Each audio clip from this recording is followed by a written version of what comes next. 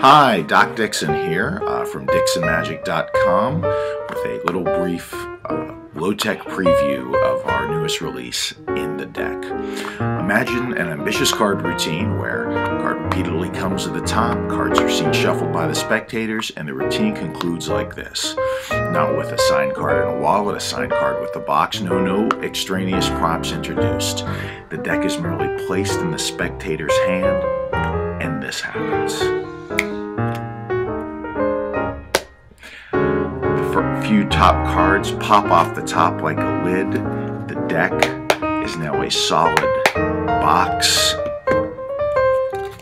with the folded up sign selection inside. No deck switches, no difficult slides, it just happens. That's in the deck.